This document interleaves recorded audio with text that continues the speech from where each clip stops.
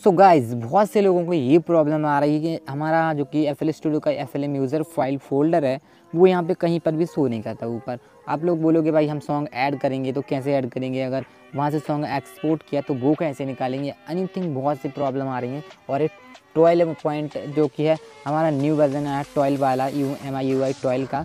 तो इसमें प्रॉब्लम आ रही है। जो न्यू आप मोबाइल लोगे, सारे के सारे में ये प्रॉब्लम प्रॉब्लम आने वाली है। तो इसका सोल्यूशन क्या है? ठीक है छोटी सी वीडियो है एंड वीडियो को लाइक कर देना चैनल पर नहीं सब्सक्राइब कर देना, और बहुत सी एफ़ एल स्टूडियो रिमिक्सिंग से रिलेटेड हम वीडियो डाल चुके हैं तो नहीं देखी तो जाकर देख लीजिएगा, ठीक है?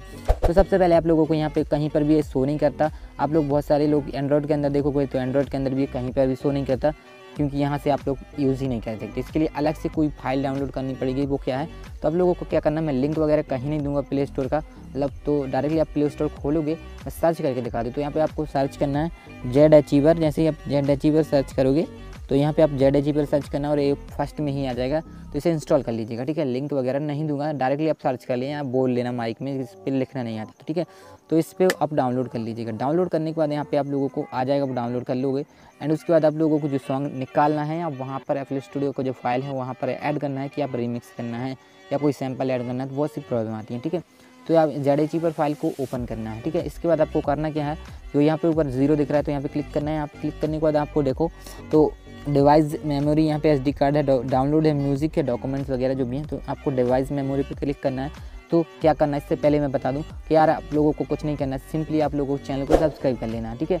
और इंस्टाग्राम और फेसबुक का लिंक तो मैंने दे रखा है फेसबुक पेज का और इंस्टाग्राम आईडी का तो दोनों को फॉलो कर लेना, ठीक है? तो चलो स्टार्ट करते हैं। और आप लोगों को करना क्या है, यहाँ पे एंड्रॉइड का फोल्डर शो कर रहा था, इस पर क्लिक कर देना। एंड यहाँ पे तीन फोल्डर देखेंगे तो आप लोगों को सबसे ऊपर है डाटा का फोल्डर इस पर क्लिक करना। अब यहाँ पे बहुत सारे यहाँ पे डॉट कॉम वगैरह कॉम डॉट कॉम डॉट से एंड बहुत सारे यहाँ पे नाम आप लोगों को शो कर जाएँगे। तो आपको यहाँ पे एक एक करके देखना, आपके डिवाइस के अकॉर्डिंग आप किस डिवाइस पे क्या ही आता है। तो यहाँ पे देखो, मुझे मिल चुका है ये देखो, यहाँ से कॉम डॉट एफ़ स्टूडियो का आइकन भी बना हुआ है और com com dot image line dot F L M इस पर क्लिक कर देना है। यहाँ पे आप लोगों को फ़ाइल मिलेगा। फ़ाइल का फोल्डर है और यहाँ पे आप लोगों को अपना F L studio F L F L M user का जो फ़ाइल है, उसके अंदर जितनी भी चीज़ें होती हैं, वो यहीं पर मिल जाएँगी। जैसे माए सैम्पल्स हुए, यहाँ पे माए सॉन्ग हुआ और माई ट्रैक हुआ जितने भी एनी थिंग जितने भी चीज़ें वहाँ, यहाँ पर आप ऐड करोगे। ऐड कैसे करना है? तो ऐड जैसे आप कुछ भी चीज़ ऐड करना चाहते हो तो यहाँ पे आप लोगों को जैसे फ़ाइल का जैसे कि फोल्डर यहाँ पे टच करना है एक हो जाएगा टिक एंड आप लोगों को होल्ड क्लिक करना और कट और कॉपी का ऑप्शन मिल जाता है तो आप कट और कॉपी करके इसमें पेस्ट कर सकते हो, ठीक है?